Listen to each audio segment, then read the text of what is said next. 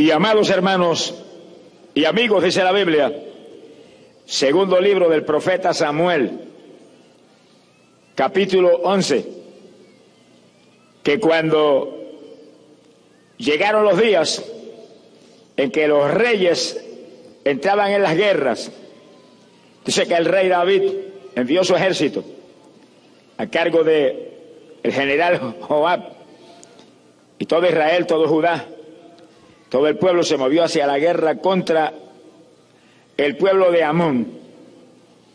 Dice que derrotaron en una forma terrible, aplastante a los amonitas. Y después de esa tremenda derrota, cercaron la ciudad de Rabá para tomarla. Ahí estaba todo el pueblo en esa batalla, pero David no fue a la guerra, David se quedó en el palacio. Tenga cuidado, que quizás no sea pecado que usted de vez en cuando coja unas vacaciones, pero tenga cuidado cuando toma las vacaciones. Hay ocasiones que no son de tomar vacaciones, son de pelear batalla para echarse hacia arriba en el Señor. Pídele al Señor que le dirija cuándo va a tomar vacaciones si es que la toma. Yo estoy esperando unas vacaciones en el reino de los cielos porque todavía no he tomado una en los últimos 32 años, pero estoy esperando una grande. Alaba lo que Él vive. Pero el que siente de vez en cuando tomarse su vacacioncita, ore a Dios que le dirija. Que los dirigidos por el Espíritu de Dios, esos son los hijos de Dios. Se supone que usted ya no vive, que el que vive es el Señor en usted. Déjese dirigir por Él. Y David cometió un error trágico. Y David era un hombre que oraba, pero ahí parece que estaba medio descuidado y se quedó en el palacio de vacaciones mientras todo el ejército estaba en la batalla allá contra los amonitas. Y dice que un día y oiga esto que es increíble. Se levantó de la cama por la tarde, mire qué clase de dormida dio. Y entonces se fue arriba al tejado y allá en el tejado vio una mujer que se estaba bañando en un patio de una casa. Y era una mujer muy hermosa.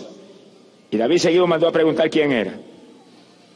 Y era la mujer de Uría.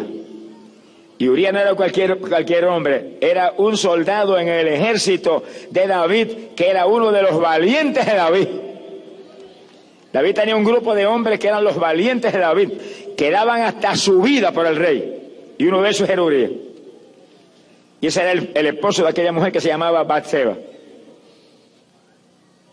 Y David en sus vacaciones parece que lo único que había hecho era dormir, se le había olvidado orar mandó a buscar la mujer y fueron los eh, trabajadores que andaban, estaban siempre con David, la gente del palacio, y se trajeron la mujer al palacio y él la tomó para sí mismo y durmió con ella.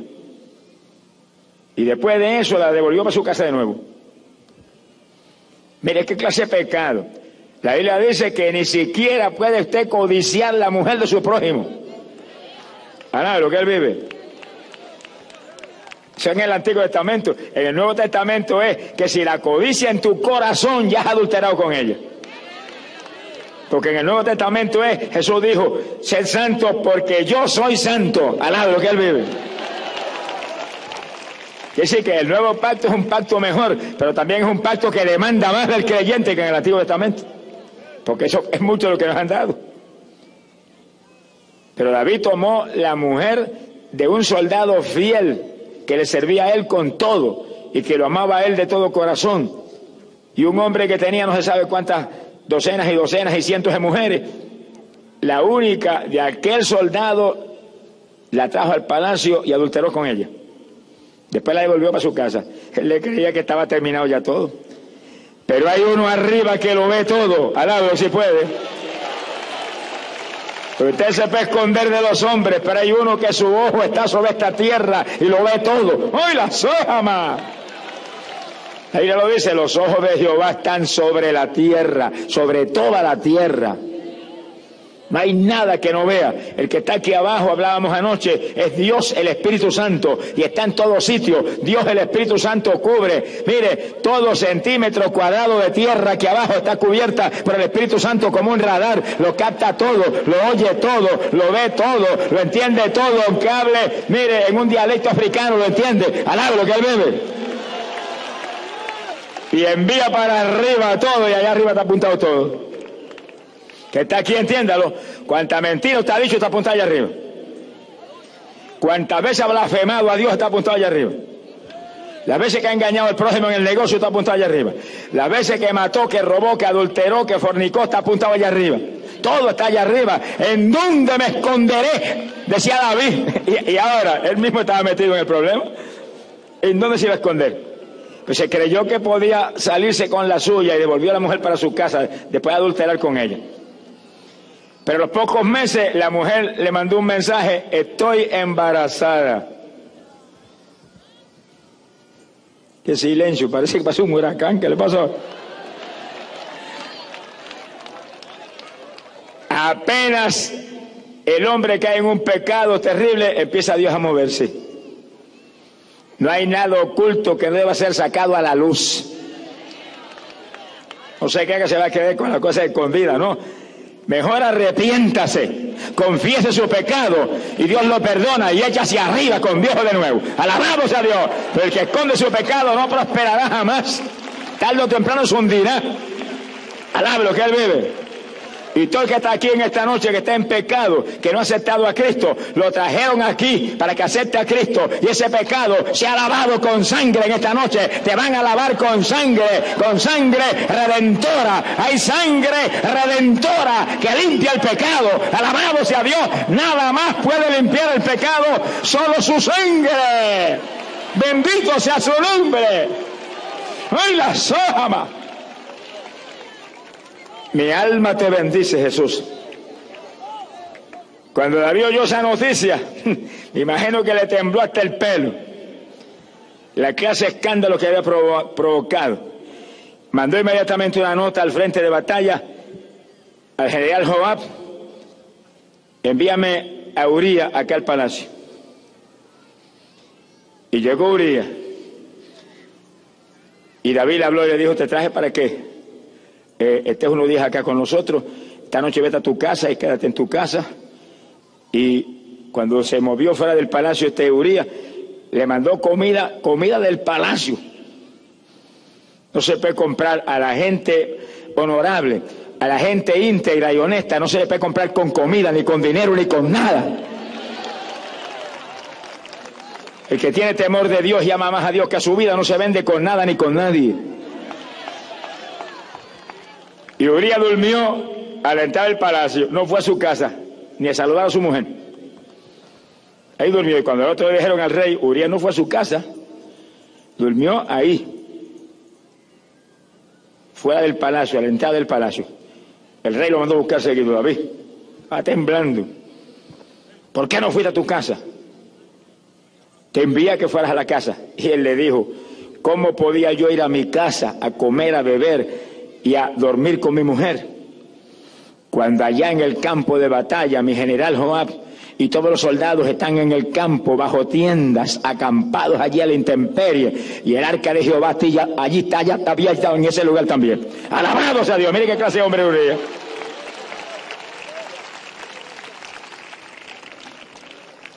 Yo no me explico cómo en ese momento David no se avergonzó y confesó su pecado y salió del asunto. Dice que lo invitó entonces a comer, le dio comida de todo tipo y lo emborrachó, le dio tanto vino que lo emborrachó. Y borracho salió Uriah y se quedó frente al palacio y no fue a su casa tampoco. Ni borracho lo pudo el diablo hacer caer en su tentación. Alabro que él vive. Ahí se quedó frente al palacio. Cuando David vio que no había forma, hizo una carta para Joab, selló la carta y se la dio al propio Uriah. Llévale esta carta a Joab, el general del ejército. Cuando llegó la carta, la carta decía Joab, ponga a Urias en el frente de batalla, en el lugar de más peligro y abandónenlo para que lo maten. Qué terrible. David, un hombre conforme al corazón de Dios, un ungido de Dios, rey de Israel, lleno del Espíritu Santo. Mire lo que cuesta descuidarse en la, en la parte espiritual de vacaciones en el tejado de la casa, durmiendo hasta por la tarde. Todavía hay hombres de Dios que hacen lo mismo hoy en día. y evangélicos que duermen hasta las nueve de la mañana. Acabe, acabe de despertar, despierte de ese sueño, levántate, levántate de ese sueño, despierta tú que duermes, levántate, la luz de Cristo te iluminará, alabado sea Dios. Hay que estar en comunión con Dios, hay que madrugar a orar. Sonríe si no sea vago, alabado lo que el Señor le ama.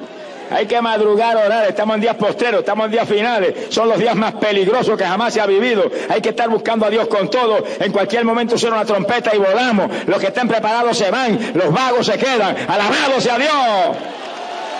Este es el camino de perezoso, este es el camino de valiente. El reino de los cielos hace fuerte. Los valientes lo arrebatan. Esfuérzate y sé valiente. Dice el Señor que yo estoy contigo. Él está contigo. Pero tienes que esforzarte, tienes que esforzarte, tienes que ser valiente, tienes que dar la batalla, tienes que buscar a Dios de todo corazón. Alabado sea Jesús.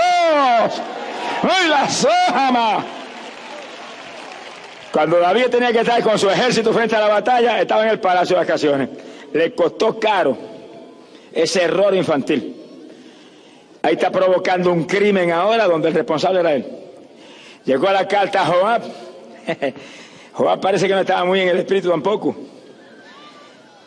Y Joab lanzó un ataque contra la ciudad y acercó el ejército a la ciudad. Él sabía que, que ese no era una forma muy, muy inteligente de actuar, pero lo hizo.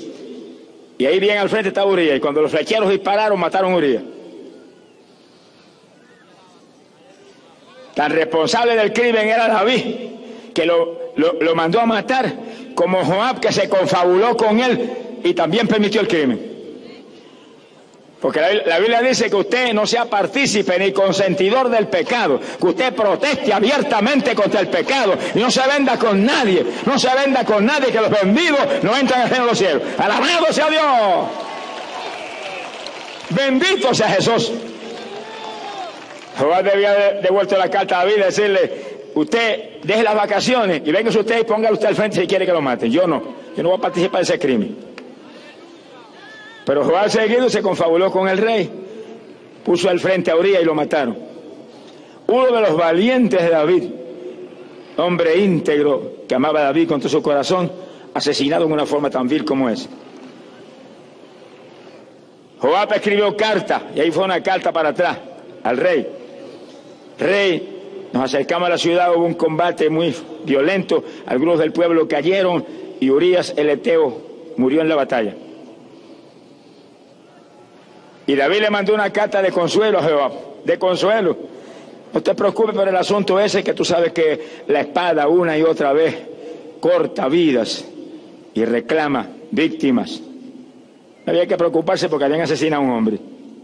Entre los dos, que Dios le ama. Sea bendito Señor Jesucristo.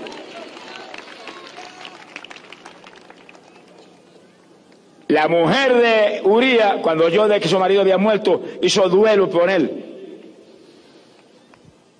Lloró unos cuantos días.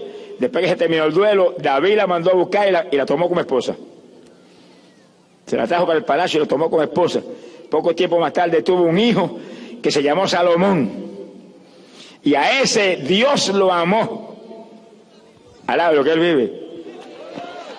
Te dice, bueno, pero sí, ¿cómo lo va a amar si esa mujer fue la mujer con que él adulteró? Bueno, no juzgue a Dios, deja a Dios tranquilo. Deja a Dios que haga lo que Él quiera hacer y lo que quiera, que Dios es justo y en Él no hay injusticia. Y Él es soberano y su soberanía no tiene discusiones en ninguna clase. Él lo creó todo y todo es de Él. Como Él haga, diga, tú hiciste bien. Y póngase, póngase de acuerdo con Dios siempre. No se ponga siempre de acuerdo con los hombres porque los hombres se pueden equivocar, pero póngase siempre de acuerdo con Dios porque Dios no se equivoca. Póngase de acuerdo con Dios. Si usted es inteligente, sea un amigo de Dios. Si usted es inteligente, sea un compañero de Dios. Si usted es inteligente, ande con Dios. Que los que andan con Dios se llevan de Dios. Alabamos a Jesús, se le pega todo de Dios. Gloria sea Dios. Bendito sea su nombre. David le creería que todo estaba ya arreglado. Todo estaba arreglado, tranquilo. Tenía la mujer en su, acá en su palacio, la tomó como mujer para él, Urias se había muerto ya, no había más problema. Pero de pronto apareció el profeta Natán, alabro que él vive, que no vendía el mensaje con nadie, ni con el rey ni con nadie. Y todo el que está aquí que predica no vende el mensaje con nadie, ni con el rey, ni con nadie, ni con la reina, ni con nadie, ni con el pueblo, ni con nadie. El mensaje, lo que Dios le dé, lo que Dios le dé, predíquelo. Predíquelo en amor de Dios, predíquelo en amor de Dios, predíquelo pensando que las almas se salven, que la gente sea edificada y bendecida, pero predique lo que Dios le dé. Alabado sea Dios. ¡Ay, pobre Jesús! Y el profeta Natán le dijo, David, hay dos hombres, uno muy rico y uno muy pobre. El rico tiene muchas vacas y muchas ovejas. El pobre tiene solamente una corderita que él la crió y la criaron arriba en la casa. Ellos de, de, su propia mano le daban el alimento, la tenían como una hija, tanto que la querían. De pronto al rico le llegó un invitado y él tenía que alimentarlo y no tomó ninguna de las vacas ni las ovejas de su rebaño, se fue y tomó la corderita del pobre y mató la corderita y se la dio de alimento al, al hospedado. Y David se puso en pie irritado, se puso furioso y dijo, ese hombre merece la muerte. Tráiganlo inmediatamente al capítulo para que devuelva cuatro veces el daño que hizo ese hombre. Y Natal le dijo, ese hombre eres tú. Sonríase que el Señor le ama. ¡Ay, Samaya, Sama! Hay hombres de Dios que no le tienen miedo al rey, ni le tienen miedo a nadie, porque el que tiene a Dios no le tiene miedo a nadie. El que tiene a Dios habla la palabra con confianza, con libertad, pero asegurándose que está hablando de arriba, no de lo, de lo, de que él le, le incumba, de arriba. En la cara, me parece que señaló con el dedo David, ese hombre es tú, cabezón, al lado de lo que el Señor le ama. David tembló de arriba abajo, tembló de arriba abajo. Y el profeta le dijo, y ese hijo que nació de ese adulterio morirá sin remedio. Sea bendito el Señor Jesucristo. El profeta se fue. Y David se metió en ayuno. Pero David tuvo un descuido. Fue un descuido. Esas vacaciones le costaron cara. Esas, esas dormidas hasta, hasta por la tarde le costaron cara. Pero David era un hombre que oraba tres veces al día.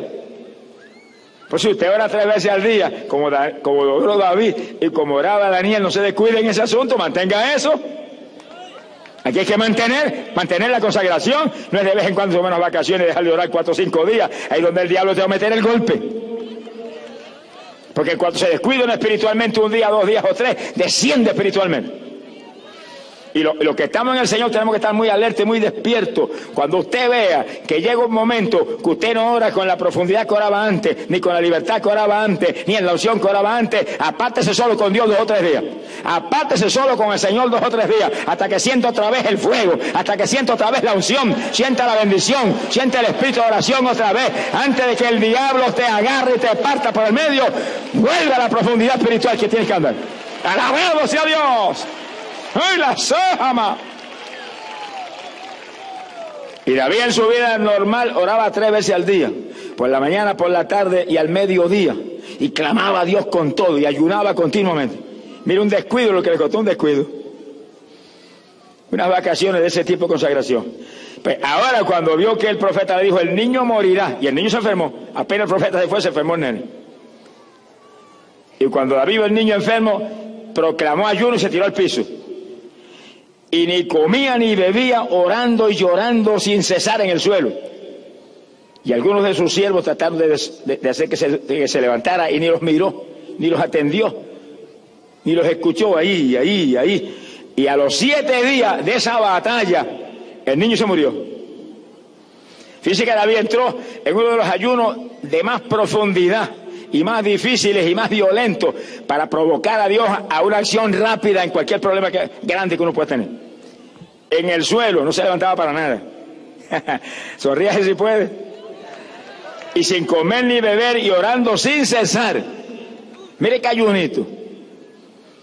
Y que cuando David se metía con Dios era serio en su consagración. Y a los siete días, con un ayuno tan violento como ese, se le murió el nene. Es que mira hermano, contra la voluntad de Dios ni funciona el ayuno, ni funciona la oración, ni funciona la fe, ni funciona nada. Las cosas funcionan cuando estamos en la voluntad de Dios, cuando están en la voluntad de Dios, cuando están en el tiempo de Dios, la oración funciona, el ayuno funciona, la fe funciona, pero fuera de la voluntad de Dios, nada. Alabado sea Dios. Ni el ayuno más violento y difícil y efectivo que se puede hacer, que será que hizo David, y pidió que el nene se, salvara. Se le murió a los siete, hizo siete días sin comer ni beber y tirado en el suelo sin pararse. Siete días. Y se murió el nene. Cuando David vio que sus cielos se acercaban y daban vueltas alrededor y hablaban entre sí, alzó la cabeza y dijo, ¿murió el nene? Sí, rey, se murió el nene. Entonces se puso en pie. Se fue y se lavó, bajó al templo de Jehová, adoró a Dios en el templo, oró en el templo y vino al palacio que le preparaban comida. Y cuando los siervos vieron que iba a comer, dijeron, pero ¿cómo es eso? Que cuando el nene estaba vivo, tú estabas ahí en el piso, llorando y gritando y no había ni quien te hablara, y ahora que se murió, ¿ahora vas a comer? David le dijo, sí, ahora sí, ahora voy a comer. Porque mientras estaba vivo, yo oraba y gritaba y lloraba con la esperanza de que Dios tuviera misericordia y le perdonara la vida al niño. Ahora que se murió, ¿para qué voy a seguir ayunando? Y dijo esta palabra, y oigan los que están aquí, porque es doctrina precisa sobre el asunto de la muerte. Dijo, yo iré al niño, pero él no podrá volver jamás a mí. En otras palabras, como si hubiera dicho, él se murió y los muertos no salen. Yo sí, cuando me muera voy a ir donde está él. Y aunque era un niño nacido del adulterio, se fue al descanso de Dios. ¿Qué culpa tenía el niño? Los pecadores, el pecador era el rey, no era el nene. Hoy hay gente que quiere matar al infierno a los nenes. Reprenda al diablo. Los niños son de Cristo, dice la Biblia. Dejad a los niños venir a mí. De los tales es el reino de los cielos. Alaba lo que Él vive. Y nosotros, nosotros, el Señor dijo, ustedes tienen que ser como los niños si quieren entrar en el reino de Dios, o sea, inocentes, puros, limpios, que no guardamos rencor a nadie. Así son los nenes. Y nosotros tenemos que entrar en ese tipo de, bendición espiritual para entrar arriba. La nueva criatura es como un niño. Sea bendito el Señor Jesucristo. Que ama, que perdona, que es puro, que es limpio, que se mueve conforme a la voluntad de Dios en todo que sí que David sabía que el niño estaba en el descanso de Dios. Cuando yo me muera iré a él. Pero él no puede venir para atrás donde me ahora. Así que ¿para qué va a llorar más? Eso le muestra a los que están aquí que los muertos no salen. Se le presenta a uno que dice yo soy el abuelo que se murió. Dile, te reprendo diablo en el nombre de Jesucristo. Tú eres un diablazo mentiroso. Alado que él vive. Demonios sí se presentan y se hacen papás por papá y por mamá y por aquel que se murió, pero usted repréndalo y échelo fuera, pues si se pone a hablar con él y a creer que le puede ayudar, usted es un adorador de demonios. Por eso que el clamor de los muertos es un pecado tan terrible, porque es adoración de demonios. Los que se presentan y se manifiestan son poderes satánicos. Y la gente habla con ellos y les pide y, y los venera y están adorando a Satanás. Silencio sepulcral, al lo que Dios le ama.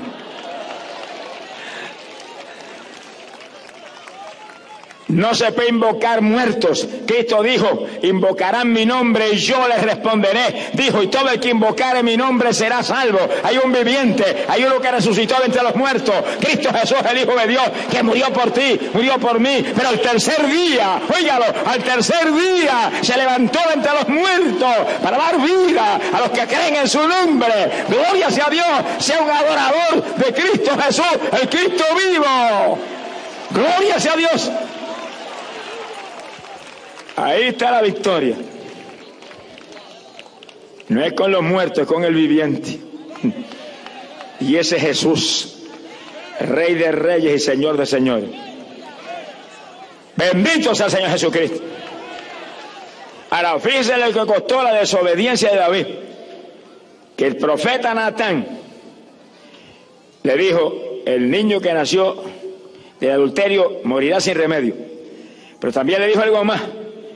Le dijo, pero tú hiciste morir a Urias lo mataste con el cuchillo de los amonitas. O sea que los de Amón disparaban la flecha y mataron a Urias, pero el que, el que impulsó todo eso fue David. Tú lo mataste con el cuchillo de Amón. Por eso la espada no se apartará de tu palacio, ni de tu familia, ni de tu gente. Uno de sus hijos amados, al salón, se lo mató. El mismo, el mismo el jefe del ejército, lo mató. La muerte estuvo siempre ahí. Le dijo, y tú lo hiciste, lo que tú hiciste a la escondida, yo lo voy a hacer a la luz y que lo vea todo el mundo. Le quitaste a la mujer Uriah, la única que tenía, cuando tú tenías un ejército de mujeres. Y yo voy a permitir que tus mujeres sean entregadas a tu prójimo, ante tus ojos. Lo voy a hacer públicamente, lo que tú hiciste a la escondida. Sonríase que la justicia de Dios es justicia de verdad. Sea bendito Señor Jesucristo. Y oiga, Dios no hace acepción de personas, Dios no mira a cara de hombre, Dios no tiene favoritismo con nadie aquí. David era varón conforme al corazón de Dios, pero cuando pecó, lo castigó duramente, le llevó al hijo, al lo que el Señor le ama, y le llenó el palacio de muerte, y sus mujeres se le iban con su prójimo. Sea bendito Señor Jesucristo. Eso, hermano, es que hay que buscar a Dios y vivir en el temor del Señor. El principio de la sabiduría es el temor al Dios del cielo. Muévase en temor de Dios, tratando de agradar a Dios en todo, tratando de hacer lo que Dios le agrada. Siempre medite en lo que hace. ¿Le agradará esto a Dios o no le agradará? Medite siempre en eso. Pregúntele al Espíritu Santo que está siempre con usted. Espíritu Santo, dime si esto le agrada a Dios o no le agrada. Dime si esto está en la voluntad tuya o no está en la voluntad. Ese es el que tiene temor de Dios, al que se mueve haciendo lo que se antoja y lo que cree y lo que le gusta y lo que la carne le dicta. Están las cosas trágicamente mal. Bendito sea el Señor Jesús. Amigo querido, en esta noche usted está aquí porque Dios lo trajo aquí a salvarlo. Amigo amado, usted está aquí, está en pecado, está perdido, pero Dios te ama, Dios te ama, Dios te creó para que tú salgas de Él. Sálvate en esta noche, amigo. Venga a Cristo, venga a Cristo. Mira que la paga del pecado es muerte, muerte en condenación. Pero hay un regalo de Dios para ti en esta noche. Hay un regalo de Dios, vida eterna en Cristo Jesús, Señor nuestro. Alabado sea Dios. Puede fallar David como falló. Pueden fallar todos los siervos de Dios que vemos aquí abajo. Como usted ve cuántos con grandes ministerios han caído y han avergonzado el Evangelio. Cualquiera puede fallar, pero hay un Cristo que no falla. Hay un Cristo que no se equivoca. Hay un Cristo que no miente. Hay un Cristo que no hay diablo que lo haga pecar. Alabado sea Dios ni fallar. Agárrese de ese Cristo, refúgiese en Él, viva para Él, que en Él estaba la vida y la vida era la luz de los hombres. Gloria sea a Dios. De su noche aprovechela antes de que sea tarde. Usted que está aquí, que es evangélico, porque David era creyente, ungido de Dios. Entiéndalo claro, hermano. Entiéndalo claro. Las desobediencias cuestan cara. Era la desobediencia de David tan terrible robarle la mujer a un soldado fiel como era Uriah, cuando él tenía un ejército de mujeres en el palacio. Y después provocar la muerte de aquel hombre, un crimen. Pero mire lo que le costó la desobediencia. Lo que le costó esa desobediencia, Dios lo perdonó. El profeta Natán se lo dijo, Dios perdonó tu pecado. Pero el castigo que le vino fue severo y terrible. La espada no se apartará de tu casa nunca. A todas tus mujeres se las entregará tu prójimo, para vergüenza tuya pública. Quiere decir que viene, viene, viene el castigo cuando hay pecados como esos, que se hacen no porque el hombre no tuvo voluntad, no que ahí, con toda intención, provocaron crimen y planearlo. Vienen castigos terribles como el que vino para David. Por eso, hermano, hay que estar agarrado de Dios y reclamándole a Dios, ayúdame. Y reclamando al Espíritu Santo, que es el que da la fortaleza y hace todo, fortaléceme. No permita que yo te falle, no permita que yo te ofenda, no permita que yo vaya en ninguna forma a contristarte al Espíritu Santo, que yo no vaya a ofender a mi Jesús, yo no vaya a manchar esa sangre que Él derramó en la cruz por mí. Ahí clamando, suplicando, ayúdame, dame fuerza, que yo no te falle, yo no lo haga, yo no vaya a pecar. Antes de que yo peque, antes de que avergüence tu obra, llévame para el cielo. Alabado sea Dios, tenga valor que más grande es el Evangelio que nosotros. Bendito sea su nombre. Que decir que el pecado de un hombre que era un rey y un ungido de Dios, mire qué clase de castigo vino contra él. Ahora, otro rey en Judá que se llamó Josías, segunda de Crónicas, capítulo 34. Dice que Josías comenzó a reinar a los ocho años de edad. ¿Qué clase de rey? A los ocho años sentado en el trono. Imagino que achicaría la corona. Mi alma te alaba, Jesús. Ahí estaba. A los ocho años. Cuando cumplió 16, un jovencito comenzó a buscar a Dios con toda su alma y con toda su fuerza. Oiga la juventud que está aquí, al se puede. A los 16 años buscando a Dios con todo su corazón y haciendo lo recto, ni a la derecha ni a la izquierda, ahí lo recto delante del, Dios del cielo. La juventud que está aquí oiga eso y entienda esto, que, que la juventud hoy en día tiene una promesa grande de Dios que en los últimos días, dice Dios, derramaré mi espíritu sobre toda carne y vuestros jóvenes tendrán visiones y profetizarán. Alabado sea Dios, juventud. Jesucristo te llama. Gloria a Dios. Dice que ese mensaje es para la juventud convertida, juventud que está en las iglesias. Hay que buscar a Dios con todo, con todo hay que buscar a Dios para que Dios te use te dé visiones, te usa profecía, seas un instrumento que traiga a otros jóvenes a los pies de Jesucristo.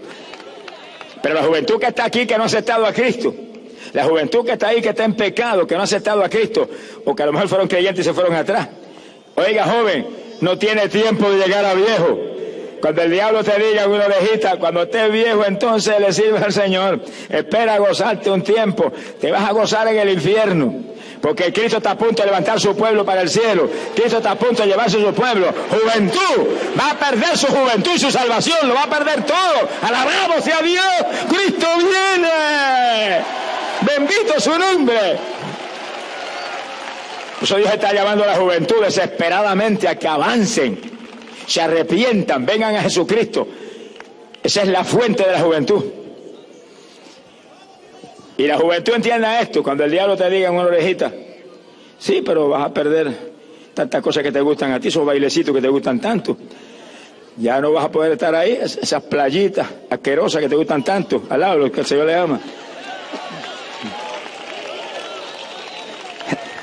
Tengan cuidado con las playas, que la capa de ozono se está rompiendo allá arriba y el sol está quemando con más intensidad y está el cáncer en la piel que hace orilla. Ahora no es cuestión de ponerse brown, es ponerse canceroso lo que están poniéndose. Alá, lo que él vive. Dios le acaba la vanidad a la gente en, segundo.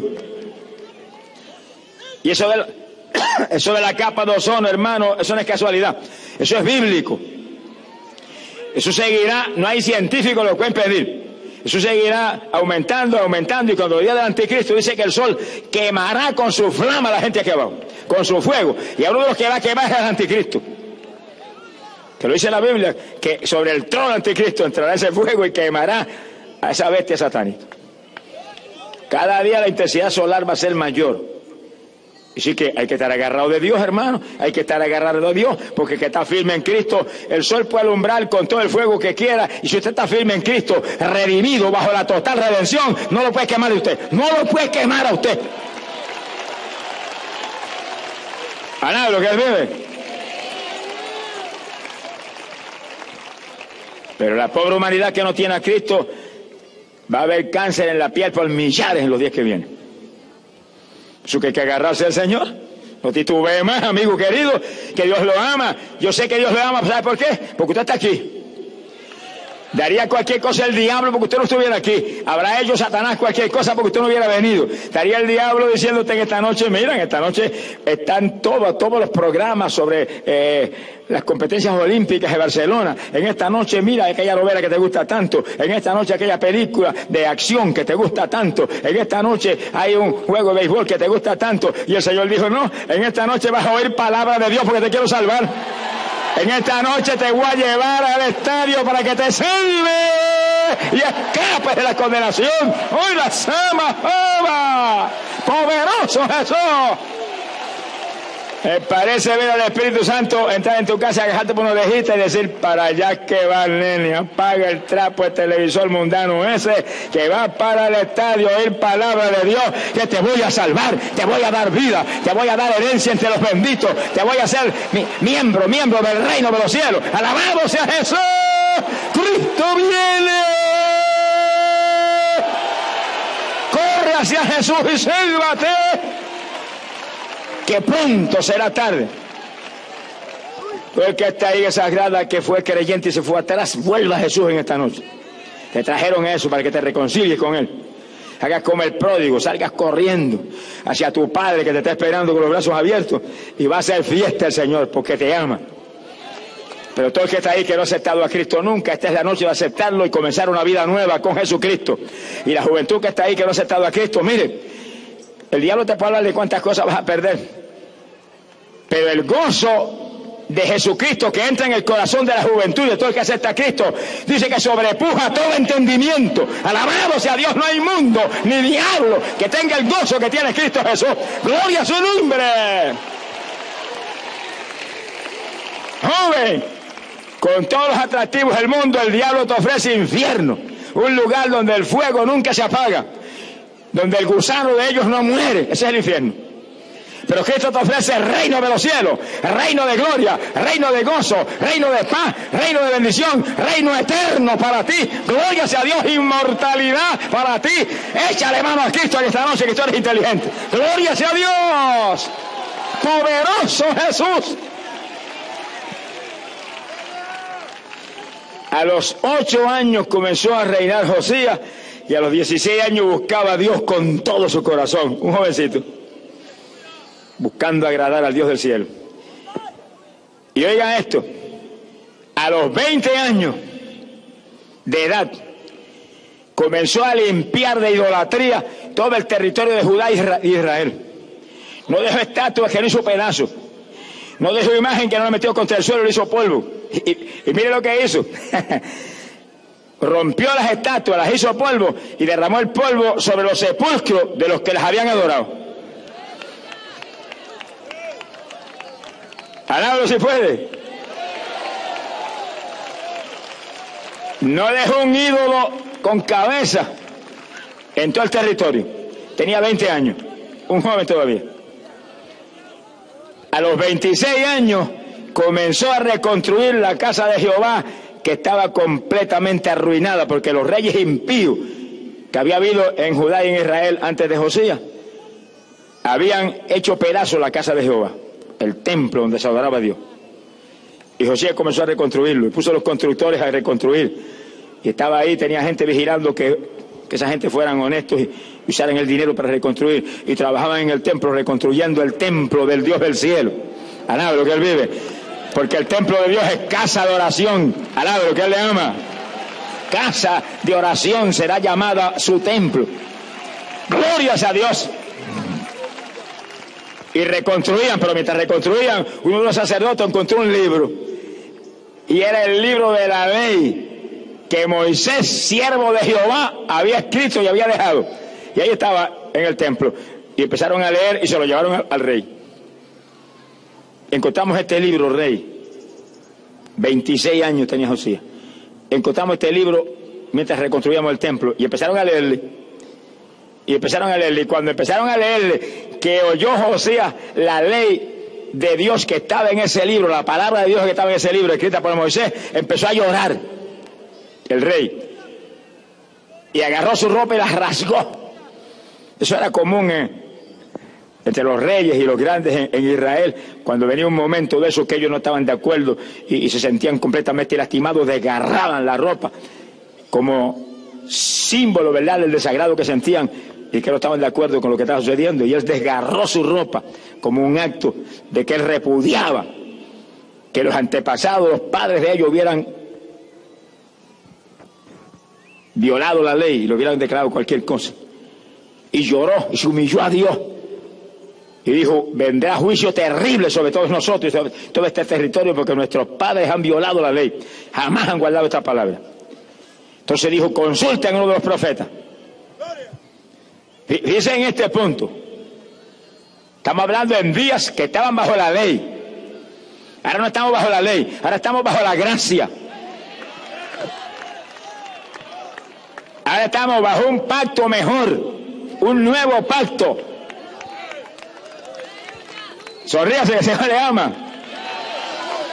Porque el fin de la ley es Cristo para todo el que cree. Y no es que hemos abolido la ley, pero la ley ahora se cumple en aquellos que andamos conforme al Espíritu y no conforme a la carne. Alabado sea Dios. Así que la ley sigue cumpliendo, pero se cumple quién? En nosotros que andamos conforme al Espíritu. Que nos movemos abrazados con el Espíritu Santo aquí abajo. Se ha glorificado el Señor. Pero en esos días de la ley, Dios había levantado profetas, hombres llenos del Espíritu Santo, que Él hablaba a través de ellos. Y en los días de la ley solamente tenían el Espíritu Santo los profetas, los sumos sacerdotes y los reyes, nadie más. El pueblo, no, ni un fresquito del Espíritu Santo había sentido nunca. David era lleno del Espíritu Santo. Saúl fue lleno del Espíritu Santo, el Espíritu se apartó de él. Le dijo a Dios y el diablo lo tomó. Mire que está aquí, aunque usted esté lleno del Espíritu ahora, alabe a Dios, glorifique a Dios, viva en temor de Dios, guarde la palabra, muévase cuidadosamente alerta a las cosas de Dios, porque se llega a poner pecador y mundano y tibio, indiferente a las cosas de Dios, se va al Espíritu Santo y te agarra a Satanás otra vez. Eso le pasó a Saúl, el Espíritu Santo se apartó de él y lo tomaron espíritus de demonios que lo atormentaban. Sea bendito el Señor Jesucristo.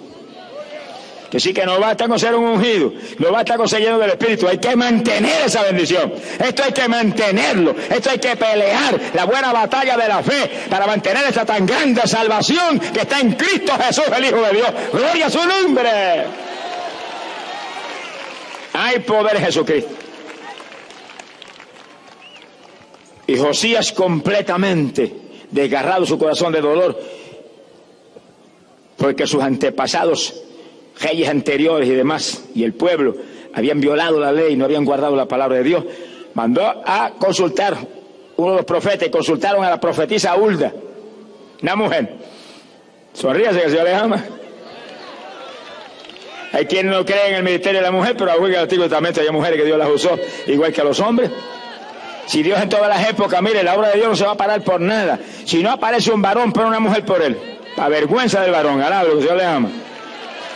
Y todos los varones que tienen llamado y que no se mueven ni hacen nada, hay mujeres en su lugar. Avance ocupe su sitio antes que se lo quiten permanentemente. Dese prisa, corra, hágalo a voluntad de Dios, haga lo que Dios le llamó a hacer. Que todas las mujeres prediquen, pero que no vaya ninguna en su lugar. Bendito sea el Señor Jesús. Y aquella profetisa Hulda, cuando llegaron los emisarios de, del rey Josías, inmediatamente vieron un mensaje de Jehová a través de ella y le dijo, le dijo, voy a lanzar juicio terrible sobre todo el territorio, porque han avergonzado mi palabra, no han guardado mi palabra, han hecho lo abominable ante mis ojos.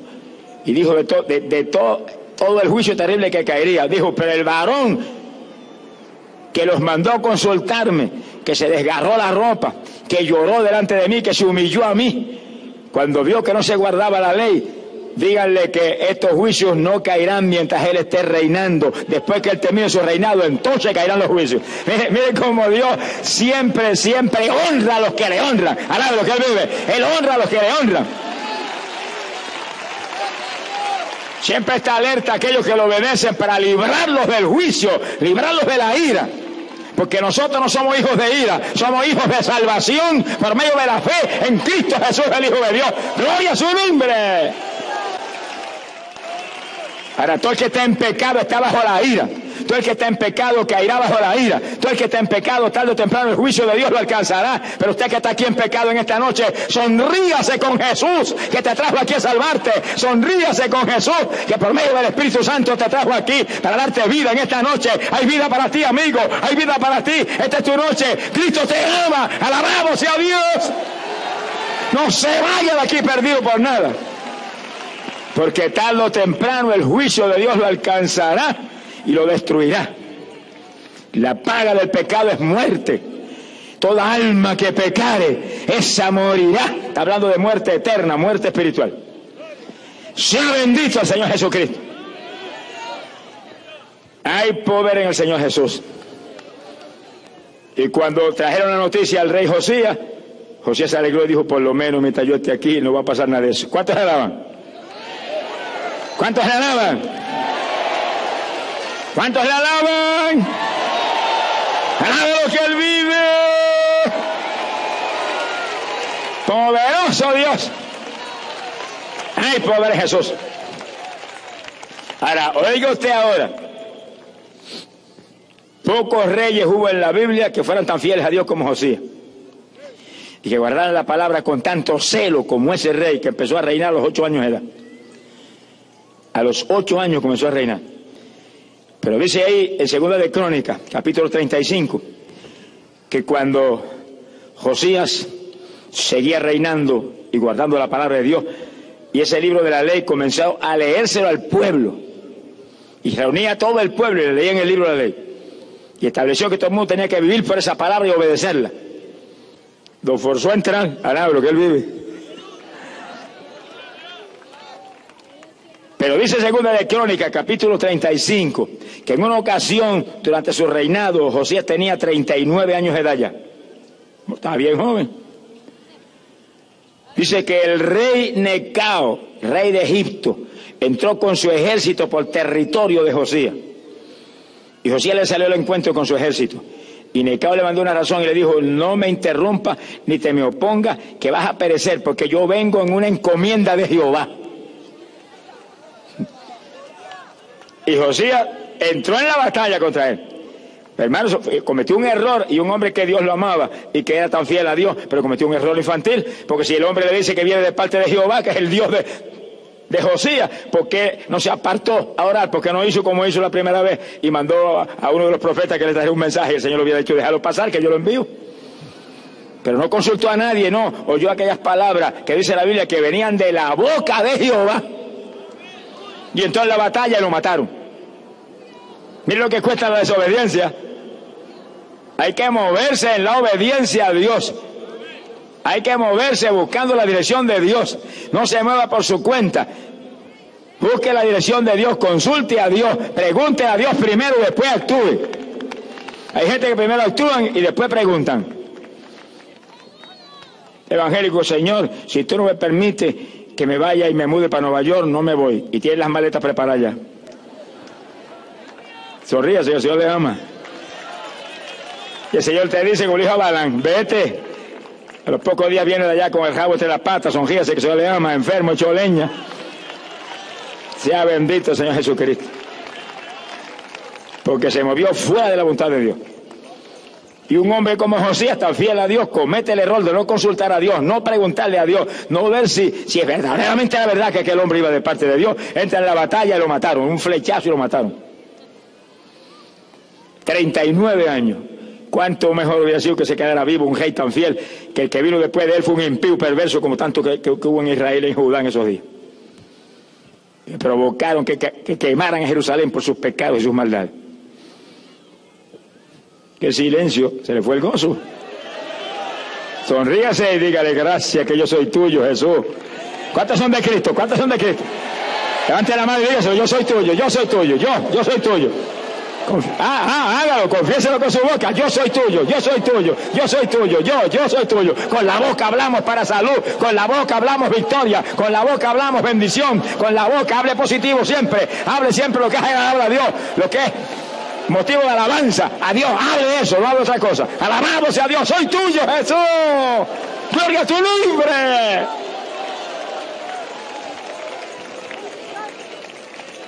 Lo que le costó una desobediencia infantil a un rey tan fiel como Josías, le costó la muerte. A, David le costó la espada todo el tiempo sobre su casa. A David le costó trágicamente, trágicamente que sus propias mujeres se le fueran con el prójimo. Dos reyes pecadores que pecaron. Josías fue una equivocación, un error, un descuido. David lo hizo voluntariamente. Gloria a Dios que Dios lo perdone. Sea bendito Señor Jesús. Ahora dice la Biblia, segunda de Samuel, capítulo 24, que en una ocasión David llamó a Joab, el jefe del ejército. Y dijo, Joab, quiero que me hagas un censo en Israel y te muevas por todo el territorio y me cuentes toda la gente que tengo.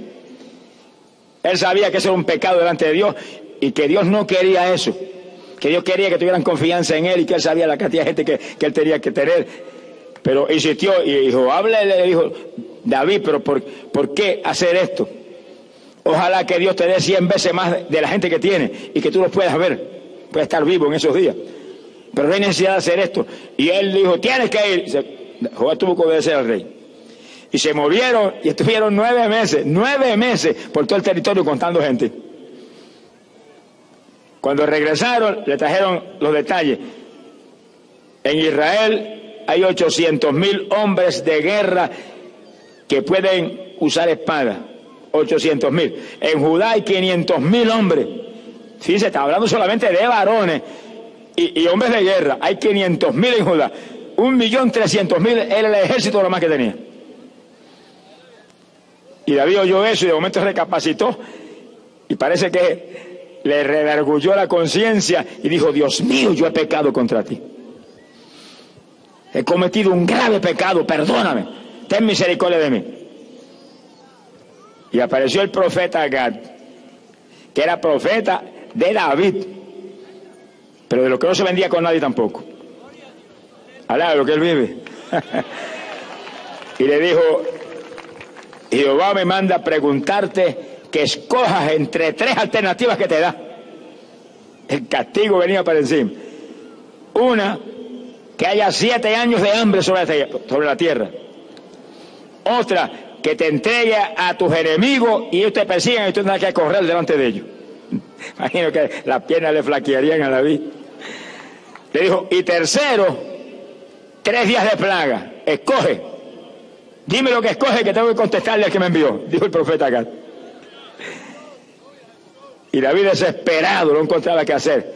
De pronto le dijo, dile a Jehová que para ponerme en manos de los hombres yo me pongo en manos de Él porque yo sé que Él tiene misericordia. Dejó a Dios que decidiera y Dios decidió la plaga, tres días de plaga, tres días de plaga. Cayó la plaga sobre el pueblo y setenta mil hombres murieron en la plaga. Qué cosa terrible. Y cuando el ángel de Jehová estaba con la espada extendida para destruir a Jerusalén, Dios tuvo misericordia y le dijo, no, no destruya la ciudad. Y David vio al ángel de Dios cuando estaba con esa espada levantada y le dijo, ¿por qué? ¿Qué culpa tienen ellos? Ellos no son los culpables, el culpable soy yo. Derrámame el juicio a mí y a mi casa, no a ellos, que esas ovejas no tienen culpa. Alabado sea Dios, Amalia Saba. Pero ese es el problema del pecado, hermano, que cuando se peca en un hogar, oiga todo el que está aquí, cuando se peca en un hogar, cae el juicio y afecta a todo el mundo y se peca y hay pecadores escondidos dentro de la iglesia y le afecta a toda la iglesia.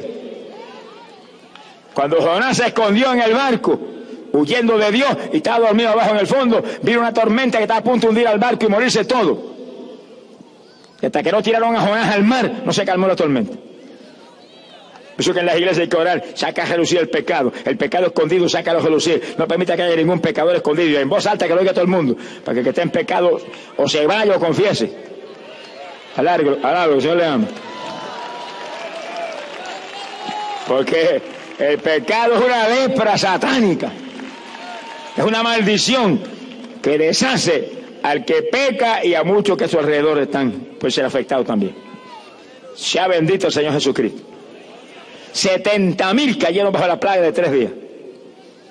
Mi alma te alaba, Jesús.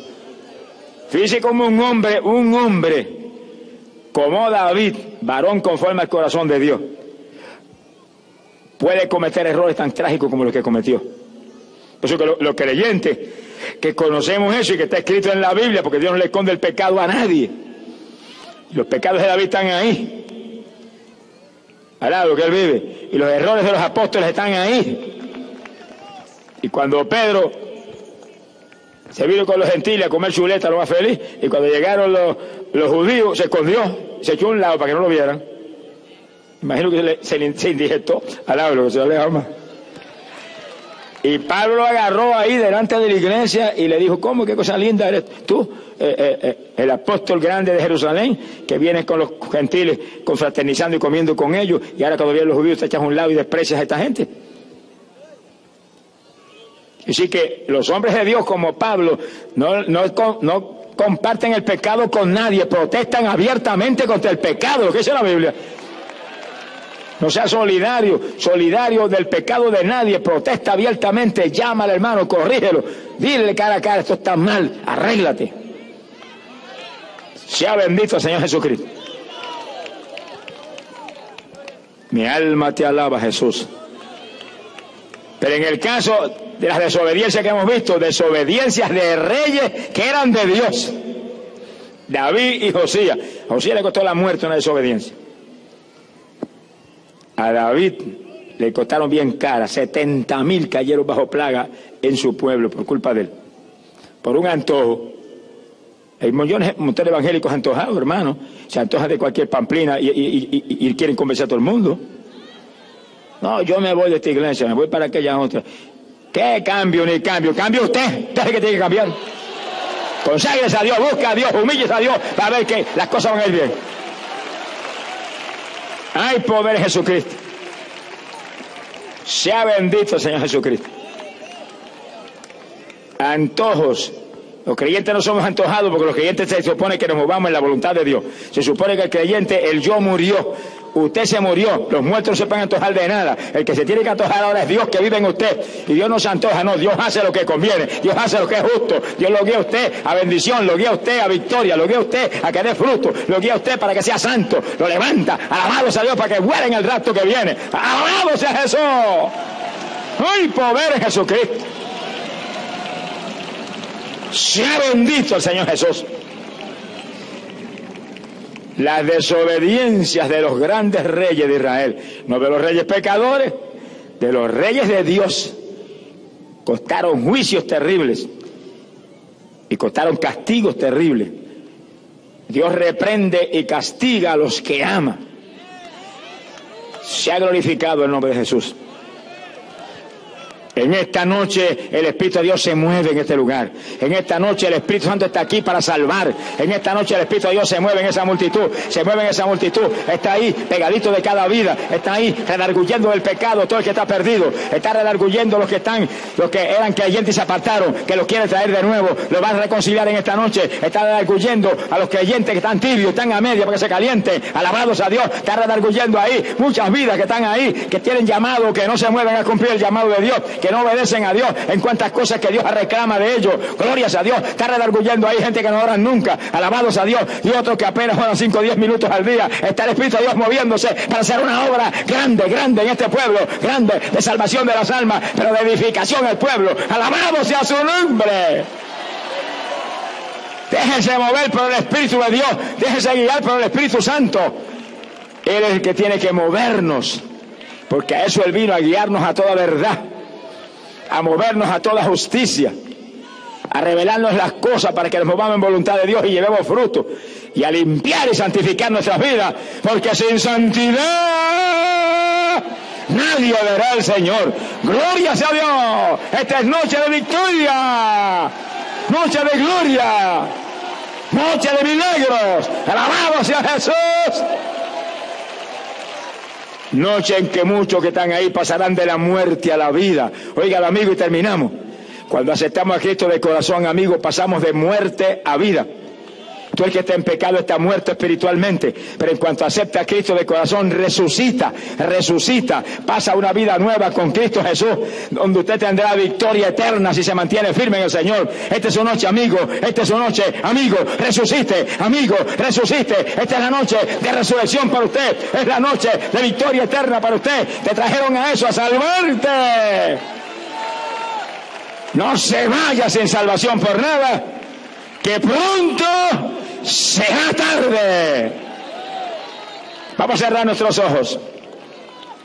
Inclinemos nuestras cabezas y cada hermanito, cada querido amigo tenga su mente en el Señor. Padre, predicado tu palabra, tu palabra es vida. Tu palabra es potencia tuya para salvación. No permitas, Padre, que nadie, Padre bueno, nadie, ni una sola vida que está ahí en esas gradas, que está perdida, se vaya a ir de aquí sin salvación. No permitas, Padre, que nadie que está ahí perdido se vaya a ir de aquí sin lavarse en tu sangre bendita.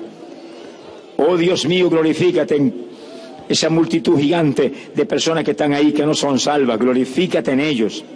Sálvalos en esta noche que eso es gloria para ti. Espíritu Santo, precioso Espíritu Santo, sé tú el que haga el llamado. Espíritu Santo, toma tú el llamado. Te invitamos a que tú sea el que te encargue de todo. Te invitamos a ti que hagas toda la obra tú, tú, tú, Espíritu Santo, precioso Espíritu Santo. No permita que nosotros vayamos a dañar nada ni a contristarte a ti en nada, sino que tú hagas tu obra gloriosa, tu obra gloriosa de arrepentimiento a, a multitudes de personas ahí para que se salven hoy y encuentren a Cristo para tu gloria.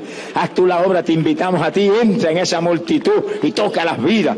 Gloria sea Dios, eres bienvenido aquí, Espíritu Santo, entra ahí, entra ahí, toca esa multitud de almas que están ahí, que no son salvas. Haz tu obra gloriosa en ellos, para que Cristo sea glorificado. Alabado sea Dios. Y en el nombre de Jesús, reprendo, Padre, todo espíritu del diablo que liga vidas que han oído la palabra, rompo el yugo satánico, comprime las almas. En el nombre de Jesús, proclamo liberación para los perdidos. Por tu palabra pido y creo, Padre. Estoy seguro que lo hemos recibido. Solamente levanten su mano de ahí de donde están. Yo quiero inmediatamente orar por ustedes. Dios bendiga las manos que se levantan. Hay muchas manos que se levantan. Damos gracias a Dios por cada mano que se levanta aquí, acá, allá, en todos los sectores de esa, de grada. Bendito sea el Señor. Damos gloria a Dios. Damos gloria a Dios. Damos gracias a Dios. Damos gracias a Dios. Vamos a orar. Vamos a orar inmediatamente por esas vidas que van a aceptar a Cristo. ¡Ay, pobre Jesucristo! Dios bendiga las almas que pasan, los hermanos orando, los hermanos clamando, los hermanos rompiendo todo yugo satánico. Dios bendiga las almas que pasan. Dios bendiga las almas que pasan. Dios bendiga las almas que pasan. Bendito sea Dios. Alabado sea Dios. Dios bendiga las almas que pasan. Los hermanos clamando. ¿Cuántos en gloria a Dios por las almas que pasan? Damos gracias a Dios por las almas que vienen pasando. Usted también lo están llamando, amigo, amigo, amigo amado. Te está llamando el que te ama. Cristo Jesús te está llamando, te está llamando, te está llamando porque quiere salvarte hoy. Te quiere salvar hoy. Ahí hay multitudes, multitudes gigantescas de almas que no son salvas. Miles de personas hay ahí, miles de personas hay ahí que no son salvas, pero Dios los trajo a salvarlos hoy, porque Dios los ama, Dios te ama, Dios murió por ti en la persona de Cristo Jesús, Él murió por ti en la persona gloriosa del Salvador, alabado sea Dios. Corre amigo querido que en el segundo en que lo aceptas te perdona, te lava con sangre. La sangre de Jesucristo el Hijo nos limpia de todo pecado. Corre hacia Él, sálvate. Dios bendiga las almas que pasan. Dios bendiga las almas que pasan. Dios bendiga las almas que se acercan. Los que la aceptan de corazón, levanten la mano bien alta. Y vamos, vamos a orar. A orar por ustedes inmediatamente. Gracias, Señor. Vamos a orar inmediatamente oración de fe por vuestra salvación. Mantienen la mano levantada, que vamos a orar seguidito. En voz bien alta, oremos. Amado Dios, acepto a Cristo ahora mismo como mi único Salvador. Te acepto, Jesús, públicamente. No me avergüenzo de ti. Perdona mis pecados he pecado contra ti, pero me arrepiento. Te acepto, Jesús, de todo corazón. Cambia mi vida. Lléname de tu espíritu. Lávame en tu sangre. Y ayúdame que yo permanezca firme en tu camino. Firme en la iglesia que sea bautizado y que sea lleno del Espíritu Santo.